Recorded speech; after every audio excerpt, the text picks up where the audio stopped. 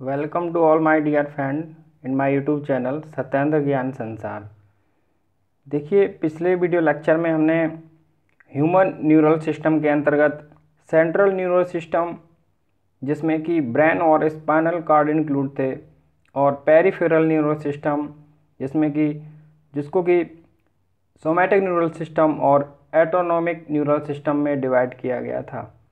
फिर हमने autonomic neural system के अंतर्गत हमने देखा था कि किस तरीके से सिंपैथेटिक न्यूरल सिस्टम और पैरासिम्पैथेटिक न्यूरल सिस्टम है। तो देखिए, आज हम जो डिस्कस करने वाले हैं, उसी के आगे चैप्टर में neural neurons as a structural and functional unit of neural system जैसा कि आप सभी लोग जानते हैं कि जो न्यूरॉन्स होते हैं, वो न्यूरल सिस्टम की स्ट्रक्चरल और फंक्शनल यूनिट होते हैं। It is a longest cell of the body और ये सबसे लॉन्गेस्ट सेल होते हैं बॉडी के।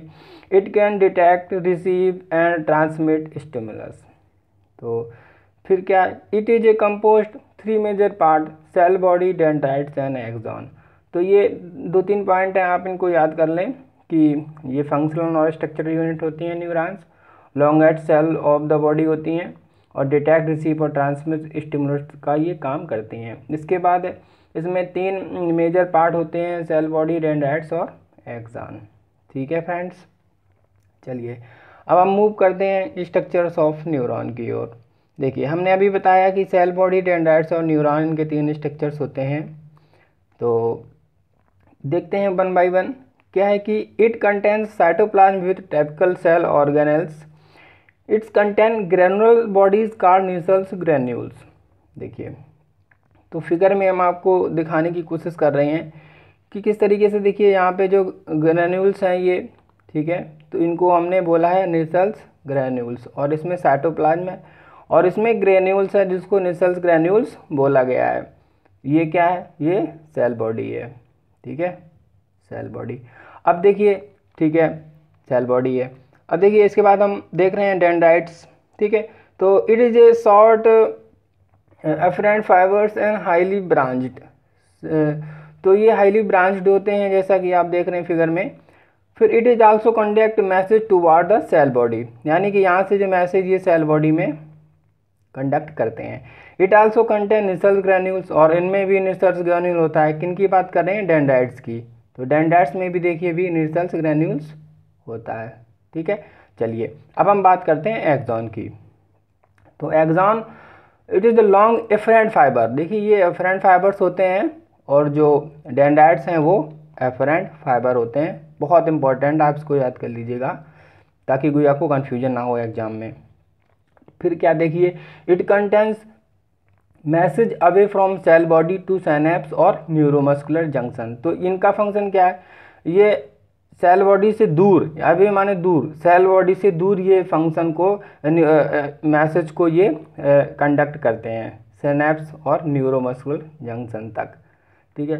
तो इस तरीके से ये स्ट्रक्चर है आपका नर्व नर्व सेल्स का, देखिए तो आप देख पा रहे होंगे जैसे कि यहाँ पे ये एक्जॉन है, ठीक है? मैलन सीट है तो अब हम इनकी चर्चा आगे करेंगे, इस तरीके से देख लीजिएगा, ये डेंडाइट्स है और ये सेल बॉडी है, ठीक है, फिर ये एक्जॉन है।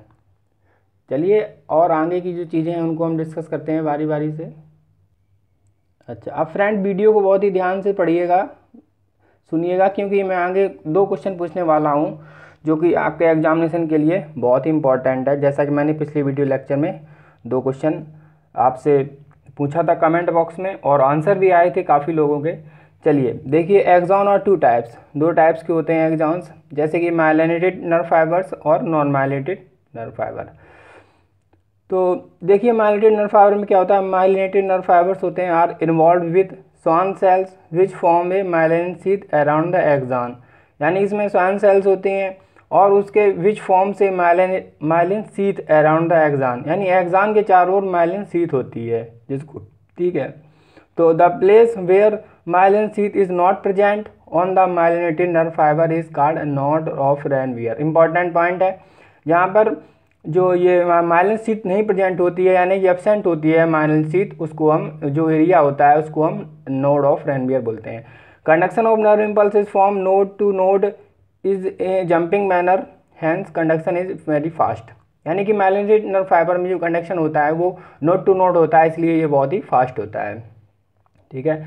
चलिए तो it is a found in spinal air cranial nerves ठीक है? तो आप ये याद करिएगा इसमें कौन कौन से पॉइंट इंपॉर्टेंट है। ये पॉइंट इंपॉर्टेंट है कि ये स्पाइनल और कैनियन नर्व्स में होता है और इसमें जो नोट टू नोड होता है, इसलिए ये बहुत ही फास्ट होता है और जहाँ पर माइलेटेड माइलेटेड जो शीत है, वो नहीं प्रेजेंट होती, उसको ये उसको हम नोड ऑफ़ रेनबियर बोलते हैं और इनमें जो स्वान सेल्स होती है और उसके बाहर जो शीत होती है। चलिए, अब हम बात करते हैं नॉन माइलेटेड नर्व फाइबर ठीक है? तो माइलेटेड नर्व फाइबर्स की बात करते हैं, जिसमें जो कोट होता है, शीत, वो प्रेजेंट नहीं होती है माइलिन शीत एबसेंट होती है। Conduction of nerve impulse occurs along the whole length of the nerve fibre hence the conduction is is slow यानी होल लेंथ ऑफ़ फाइबर में कंडक्शन होता है नर्व इम्पल्स का, इसलिए ये कंडक्शन इसका स्लो होता है। और ये कहाँ पर होता है? ये ऑटोनोमस और सोमेटिक न्यूरल सिस्टम में पाया जाता है। तो आप देखिएगा, इसमें इसमें जो नॉर्मैलिटी सीट होता है, उसमें नॉर्मल सीट अपसेंट होती है और उसमें कंडक्शन बहुत ही फास्ट होता है, ये ऑटोनोमस और ऑटोमेटिक न्यूरल सिस्टम में पाए जाते हैं। अब आपसे क्वेश्चन है, जिसको कि आपको सॉल्व करना है कमेंट बॉक्स में लिख के, क्या है कि आपको ये बताना है क्या node of Ranvier non myelinated nerve fibres में पाए जाएँगे। ये आपको बताना है कमेंट बॉक्स में क्या node of Ranvier non myelinated nerve fibre में पाए जाएँगे।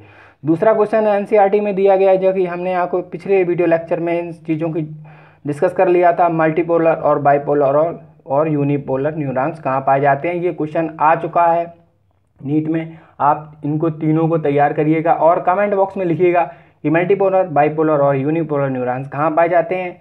और पहला ये है क्वेश्चन की नोट ऑफ़ मियर क्या नॉन माइल्टिनर फायर में पाए जाएँगे?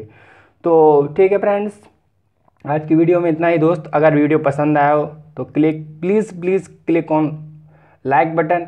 If you are watching first of first of all my video then subscribe my channel. And if you are already subscribed my channel then very very thank you. And uh, wishing you uh, very very uh, happier day. And uh, you will very prepare very well i think also और thank you for watching this video मिलेंगे next video में. तब तक के लिए आप पढ़ते रहिए और इसी तरीके से आगे बढ़ते रहिए, मेहनत करते रहिए. Thank you for watching